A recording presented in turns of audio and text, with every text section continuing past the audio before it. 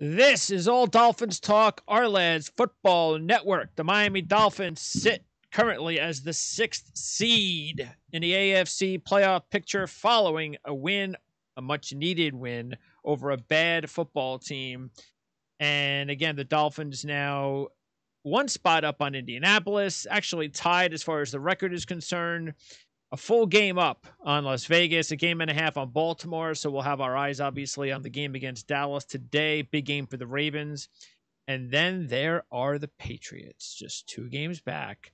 A game coming up a week from Sunday in Miami could be huge. We'll talk about all that, including, uh, well, who knows? That's why we have Alain Poupart on the program. Alan, how's everything going? How was the game? I'm I'm here to talk about all kinds of nonsense. All right. Uh, yeah. That's what I want to hear. Yeah.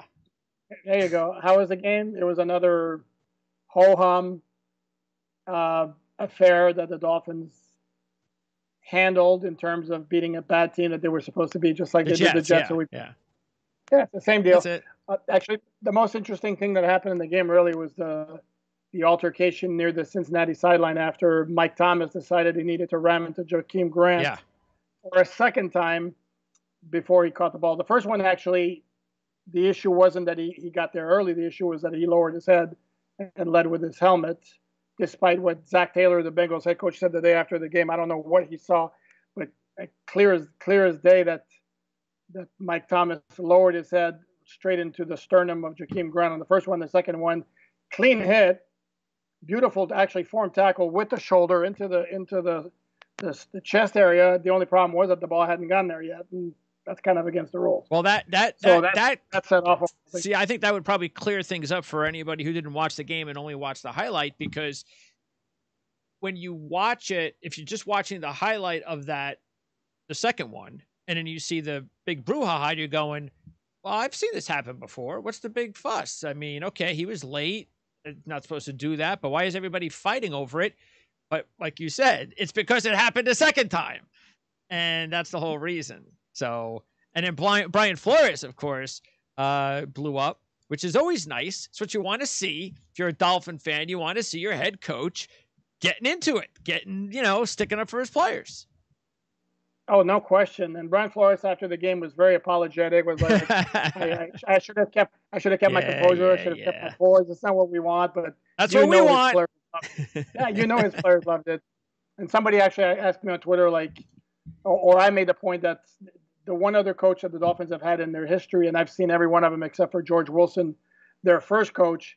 I, I think the only one I can think of that assuredly would have done the same thing Flores did was was Dan Campbell, who was the interim head coach at the end of 2015. Yeah. And Tony Sparano, maybe, uh, very possibly, but I think Dan Campbell, without a doubt, and then Brian Flores also without a doubt.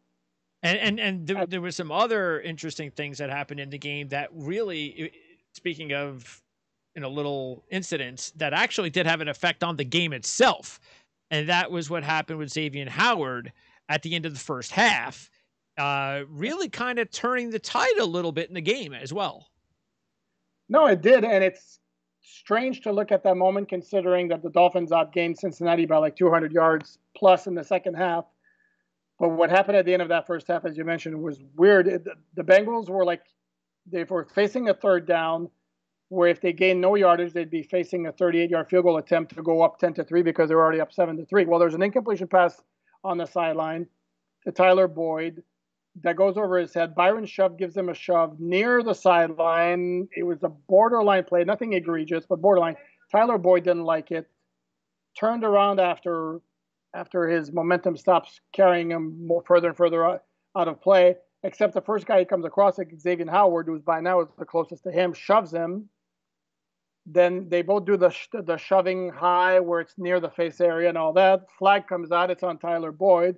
They send it to New York to review. After reviewing it, they decide that both players threw punches.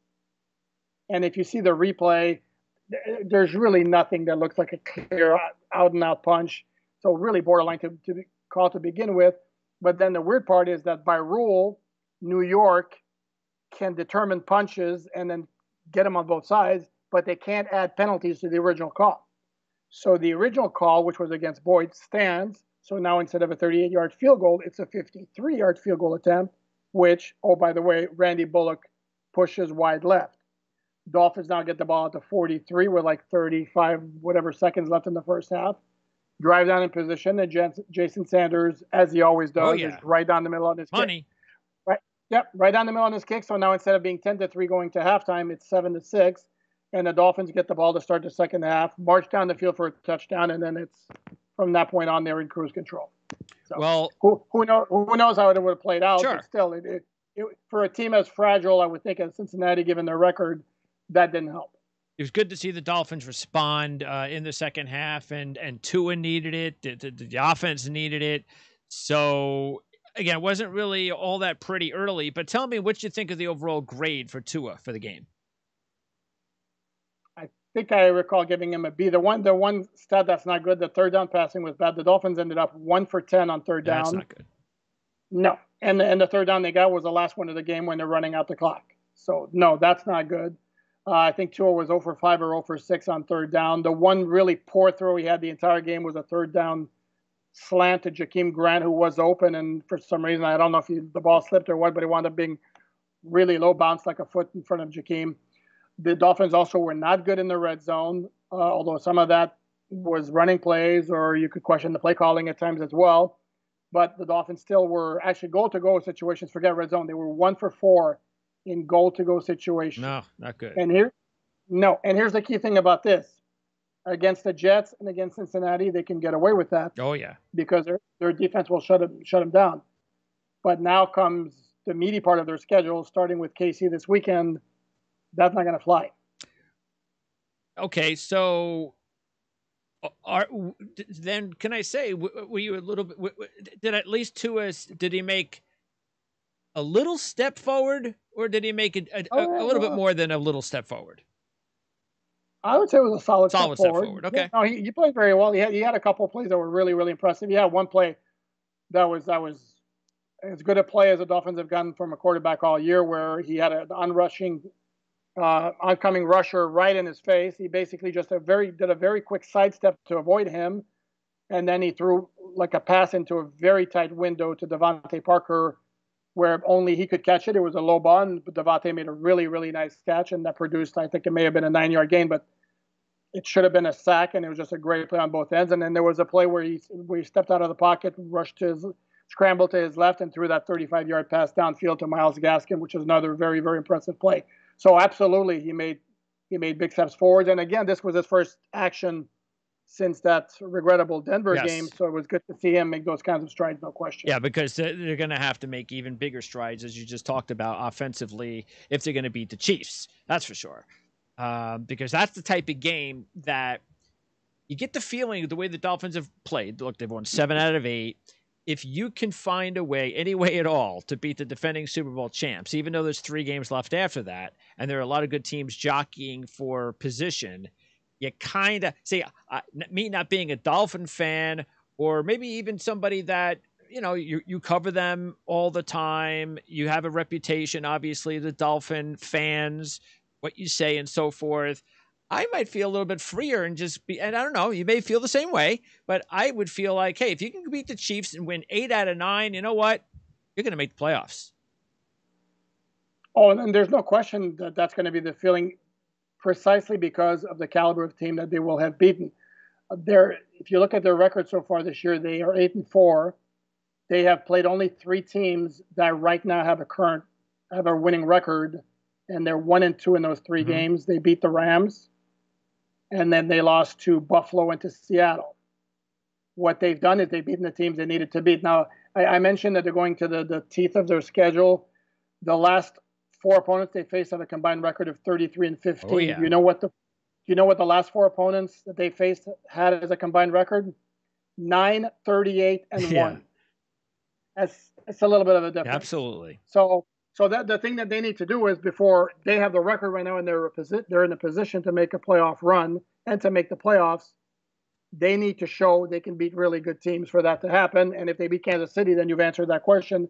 And then yeah, absolutely, you, you start thinking they're definitely making the playoffs. A big game too uh, for Mike Gesicki, and that's something that the Dolphins and Gesicki need because they really he's got the talent at this stretch of the season now, with these big games coming up, if the Dolphins are going to make a push to the playoffs and they're going to get to the playoffs, they have to find that secondary guy. And we, we and we, this week is a great example of what tight ends can do with Travis Kelce and the Chiefs. And and and Gesicki's got ability. He's got that type of ability. He's got a ways to go if he's ever going to be that type of player, but he has that type of ability. And in, he had a really good game against a bad team. The next step is to do it against a really good team. Correct. Well, and it wasn't his first good game. He's had like two or yep. three, and then he he goes to like big through big lulls. So it's kind of been an interesting thing. The thing with him is he can catch any ball because of his athletic ability. The, the, the one issue with Mike Gesicki is the route running sometimes isn't as crisp as you'd like it. For example, you mentioned Travis Kelce, and we talked to Eric Rowe yesterday, and he talked about Travis Kelce running routes like a wide receiver, while Mike Gesicki runs routes like a tight end. And sometimes you will find situations where you see a lot of passes thrown his way where there's tight coverage on him. Well, that's because he's not cre- creating enough separation. That needs to be more consistent for him to reach that next level if he can get open, you can see he's got the ability to make those catches, including that circus one-handed catch he had against the Bengals near, I think it was around the five-yard line. So it's there. And as you mentioned, because right now they don't have a dependable number two wide receiver to complement DeVante Parker, they really need for Gesicki to to be consistent and to make plays week in and week out. And speaking of the depth, you mentioned Grant. He actually had a pretty big drop in the game against the Bengals, which could have been a huge play. Uh, and we we talked about whether or not he could step up and be a guy that with Tua around, you know, could he be somebody that could elevate his game? Meanwhile, Isaiah Ford, I guess there's a possibility the Dolphins are going to re-sign him now that he's been let go by the Patriots. And Antonio Callaway gets an opportunity to play, but he only gets 13 snaps. So they're still looking. And, and uh, by the way, Lynn Bowden comes in for Perry. He gets four receptions, which is good to see that he's getting some opportunities. So there's still a, you know a mismatch of guys, depth guys, that the Dolphins are hoping that maybe uh, you know you don't need anybody to step up and be a true number two or anything like that. But the more depth players can step up and really help out the offense, it's just going to make the offense better. No, no question. And and Bowden showed a lot of good things last week where I want to see more. I mean, he caught all four passes thrown his way. They handed him the ball one time and he made some really nice moves, gained 11 yards. Uh, there's something there. I want to see more out of him. I want to see him get more opportunities. Yes. The other the other thing is you mentioned Callaway and Ford, and I caution against falling into the trap. And Dolphin fans do this all the time. Callaway was a shiny name because of what he did at the University of Florida fourth round pick, had a good rookie year with the Browns where he shined all of a sudden once he started practicing for the Dolphins. I know a lot of fans are thinking that's the guy who's going to make the difference. No, he's not making a difference. He's played three games. He hasn't played more than 13 snaps in any of them, was not targeted once in the 13 snaps he played against the Bengals. So obviously it's a work in progress. Isaiah Ford, who I, who I really respect as a, as a person – great kid, great work ethic, team player, will do everything he's asked without complaining. But the, there's, I mean, there was a reason why he bounced on and off the Dolphin practice squad for three years before making a little bit of an impact late last year. And there's a reason why he never played in his three games where he was eligible with the Patriots, yep. who wound up, by the way, throwing the Dolphins a draft pick just for the opportunity to look at yeah. him. So, I mean, as much as I like to see the guy like come on like gangbusters after after starting on the practice squad and then eventually earning a promotion. I, would caution against expecting too much. You don't usually at this him or Callaway. Yeah, at this at this time of the year, it never happens where a guy just comes off the practice squad and becomes a key part of the offense. It just doesn't happen.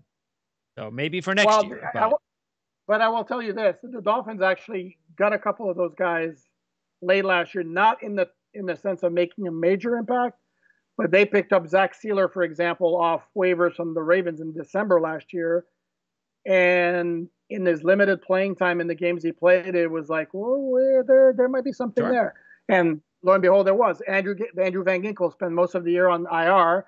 And in, in December, there were a couple of games where he made some plays, and you're like, yeah, there's something there. And then it's carried over to this year. So you're not going to see a guy who's really going to make the difference between wins and losses down the stretch. That's unrealistic. Yeah. But certainly possible. Like for example, what Bowden did against the Bengals, those are the types of glimpses that tell you that maybe next year, yeah, that, that could be a major. Yeah, factor. and if you get a whole off season where you have Perry and and Bowden, college quarterbacks transferring to you know running back receiver whatever you want weapons on offense and they get into game action you get a full off season with them next this off season these these i mean these kids were fantastic playmakers mm-hmm. at the college level Divi- at top yep. college level not in the mac you know, not in the Sun Belt, in the top, you know, Navy's still considered still, you know, they with Perry, they were a dangerous team, and Bowden, it's amazing how they were able to win games with him at quarterback. He doesn't throw the football very much at all, and yet they were still able to win games. It's like the Dolphins back in the days of the Wildcat.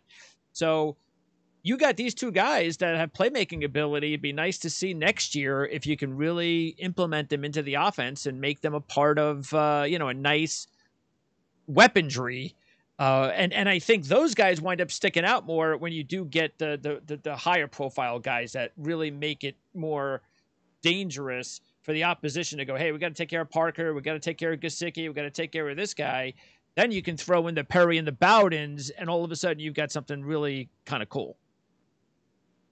Yeah, no question. And like I said, I want to see more uh, from Bowden after what he did last week. I want the Dolphins to feature him a little bit more. He, you could see the athletic ability yes. just in the way he handle he handles the ball and the way he oh, moves. Oh yeah in space in space so there's no reason not to give him more opportunities uh, on defense uh, jones gives up the touchdown um, just a just a blip well it, it's it's a bad combo played by both him and brandon jones it's a third and two it starts off like for some reason i don't understand why byron jones was so far off the line because he was guarding tyler boyd so it's an easy pitch and catch for the first down you start off with that and it's basically a gift because they're so far off yeah. the line. Now, what the problem what the problem became is that Brandon Jones got himself tangled with tight end Drew Sample and couldn't disengage. Where he was close enough to the sideline where had he been able to come loose a little bit, he'd have been in position to just simply shove Boyd out of bounds and avoid that whole that whole issue. Um, but he got completely, completely neutralized. And then Jones, with the angle he had, couldn't get to Boyd quickly enough to where to prevent being basically boxed out by by Sample and, and his, his own teammate, and there goes Boyd. So it happens. It's yes, it happens. It's not a great play for either for Byron Jones. I don't think Brandon Jones also necessarily did did his job on that particular play either. Even though if you look at the advanced stats, it's an awful. Sure. It's a 73 yard touchdown against Byron Jones, which yeah which which makes its passer rating against jump up uh, exponentially. I think Byron Jones m- might have been somehow, I don't know, maybe he maybe he.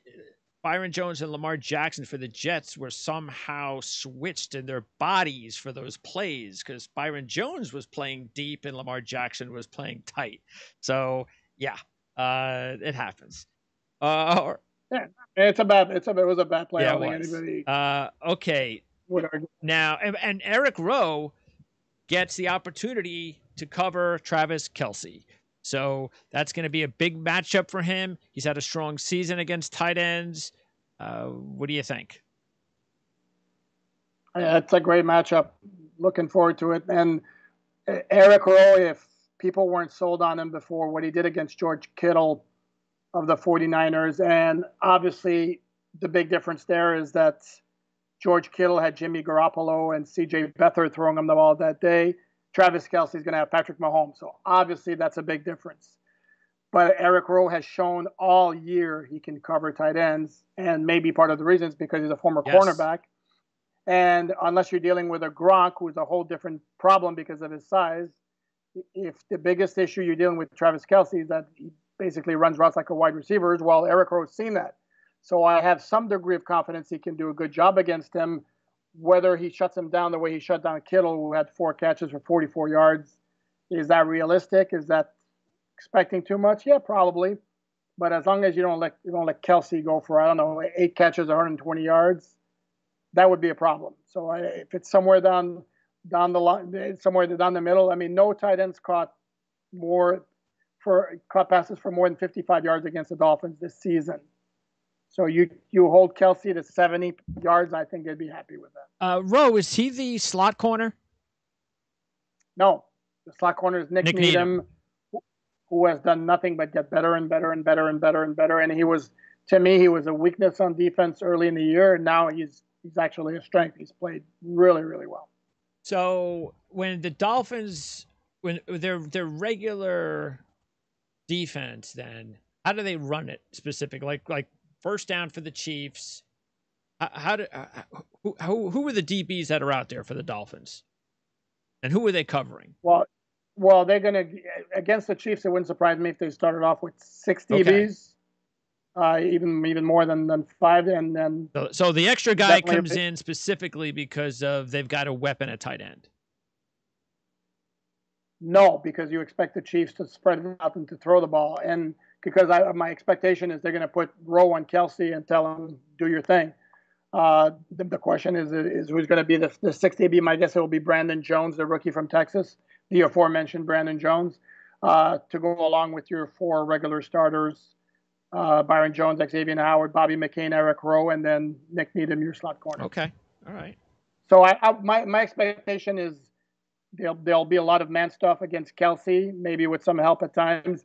The bigger concern and the bigger issue is how do you cover Tyreek Hill? I know it's been suggested or it's fascinating to say, well, he's one of the best wide receivers in the league. Xavien Howard's one of the best corners in the league. Why don't you put Howard on Hill one on one? Except, except Hill's kind of a different kind of wide yeah, receiver. His speed alone is uh, just it's different. Correct. Yeah. Correct. Because what Howard, what where where Howard excels, Howard has above average speed. I don't know if I say great speed. What he has is great route recognition and incredible ball skills. The problem is, is what Tyreek Hill has is incredible speed. Yeah. So my my guess is it's going to be combination coverages and safety help. Should be interesting to see how that works. Oh, absolutely. That's a great up. That should be good. But again, the yep. Dolphins now are in a position where even if they lose to the Chiefs, the, the Patriots come next. And a lot's going to depend on what the Patriots do on Thursday night and let's say the Patriots win on Thursday, that and let's say the Dol- uh, Dolphins lose. They're supposed to lose. That's what that's what everybody's going to expect. Then all of a sudden now, you have a you know the game of the year because you're taking on a team that's already beaten you, and if they beat you again, tiebreaker wise, you're in big trouble. So it's it's gonna get pretty tricky mm-hmm. here and it's going to happen fast starting with the chiefs on sunday. And it's just it's amazing but this is what you sign up for as a fan and and, and as a team these types of challenges. So it's uh it, it's it's going to be fun to watch and see how they respond. Yeah and then the thing with new england is they, they i mean they look they look dead what uh, two three weeks ago? And all of a sudden they've gotten their game together. They did a number on justin herbert i mean the dolphins made justin herbert look bad the Patriots made him look horrible. Uh, and then th- this followed a pattern with Bill Belichick causing major headaches for rookie oh, yeah. quarterbacks. Well, guess what? Tua is a rookie quarterback. So what's Belichick going to come up with against the Dolphins? Good point. The other problem is the other problem is what the New England does best on offense right now is run the ball. What's the Dolphins' weakness on defense is stopping the run. So in terms of matchups, New England is not a good matchup for the Dolphins right now. So I think the the one thing that uh, got going for him is that they do have this little like kind of hex on New England when they come to Miami. Been a been a tough place for New England to win football games. That is true. That is true. No question But Well, not last year. That wasn't a problem no, last no. year, but that that's an eternity yeah, ago, absolutely. though. And and a whole different ball game. I mean, a different team. I should say. Yep. So uh, wow, it's it's going to be great. I'm looking. I mean, this is really what what what like I said, what you sign up for. So it was also nice to see Gaskin come off the injury list and uh, looked like he just picked up where he left off a 90 yard performance, including really 141 yard performance when you throw in the the uh, mm-hmm. uh, two receptions for 51 yards. So that was nice to see. Yeah, he was solid, but again, I mean, I don't I don't want to like be this guy who like changes my tune every week. I, I have said the Dolphins don't have an impact running back, and they still don't. Myles sure. Gaskin's a nice player, and he did a nice job But again, when we talk about this this game against Cincinnati and the game against the Jets before, it's really impossible not to not to overlook the fact that they were playing two really, really, really bad teams. And this is why this game against Kansas City is going to tell us a whole lot because you want to talk about a measuring stick type of game. That's it right, That's right. there. So I mean, let's see what the Dolphins can do against them. But yeah, it would be nice if if they can get some production out of the running game against Kansas City, which is not does not have a great run defense. And if you're able to control the ball against them, well, that keep Patrick Mahomes on the sideline, which obviously is the best defense to play against him. It's just again that that's not what the Dolphins necessarily do well. And with Edwards-Helaire missing the game against Denver, Le'Veon Bell becoming the starter, I, you know, it, it's I don't know what it is, but you know, even when Bell was on the Jets his last few games, he looked a lot better than he's done with the Chiefs. I don't even I don't know if it's he needs time to gel with his line or what the situation is, but he does not look good with Kansas City right now. And when they when you when you can get away from when when you make Kansas City a one dimensional offense, especially the Chiefs, that makes things a little bit easier for you because yeah, you don't want to always have Patrick Mahomes throwing the football. I get it, but they are that much more dangerous when they can run the football. And when you eliminate the running game, now again, Edward Helaire could play this week, but if you can eliminate, like you said, Dolphins run defense not very good. That's really where you're gonna Dolphins are gonna have to step up because if they allow the Chiefs to have a really good game running the football, I just don't really see how they're gonna be able to stop them. No, no question. And they have to affect Mahomes, even though the thing with Mahomes is you can have great pressure on him. He finds a way to scramble, makes those crazy throws with all sorts of arm angles, stop stop in mid run, plant his foot, throw across his body. I mean, he does all sorts of crazy things that just drive you nuts as an opponent because you played the you played the play really, really well and he still makes something happen because he's such an athlete but that's what you got to keep doing and doing and doing, and eventually you hope that there's a mistake there. The other thing with him, he never throws picks. So, but he's going against uh, going against Xavien Howard, some, uh, who always gets a pick. So something's yeah. gonna have to give there. Well, that's why we're looking forward to it. Looking forward. This is this is the type of defense that should have the most success against the Chiefs, or at least I'm talking about the secondary, because if you have DBs that can cover their guys, that's that's huge. That's a, it's a big step up. Vic Fangio did a good job last week. You know, we've mm-hmm. seen the Chiefs are, are, they're human. You know, they, they can have bad games. They can have games where they look human, like Patrick Mahomes. And Brian Flores is one of the top defensive minds in, in the NFL. And I I think this could be that's why I'm real excited to see the matchup because I don't I, I think this is I think this is really all going to depend to tell you the truth on the offense. Uh, the, the, offense has, has got to play with the Chiefs, and I'm not saying 45, even 30s, but you know, maintain some time on the clock. You know, run the ball effectively, short passes. Don't go one for 11 on third downs. You can't do that against mm-hmm. the Chiefs. So if the offense plays a really good football game, uh, the Dolphins are going to have a chance. I don't care how good the Dolphins play on defense. If the offense doesn't respond, they're not going to beat the Chiefs. Agree, because no matter how well they play on defense, you're not going to completely shut no. them down. They're just too good for that. We saw happen. that on Sunday. But night. I do, correct. They didn't play a good game. They still scored 22 yep. points. They, but uh, as you, I'm with you on that though. That I trust Brian Flores to come up with a good game plan to try to slow down, contain a little bit the Chiefs' offense, and it'll be up to the offense to make enough plays to see if they can pull out this All win. right. Well, we'll talk about that next week, and then obviously we'll uh, harp on the, the, the big one after that. That's the Patriot game, and uh, that should be even uh, even more fun, especially if the Patriots win, which I know Dolphin fans don't want to see, but. No, Dolphin fans don't want to hear that, but it would make the matchup more be, interesting. Yeah. No question about All it. All right, Alain. Thanks as always. We'll talk to you next week. Sounds good. Have a good you one, too. Greg.